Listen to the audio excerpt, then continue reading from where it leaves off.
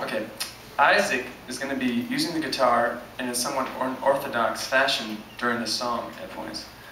And um, we like to do a lot of experimentation with the instruments, so I've encouraged him to do this, and I think it's really good.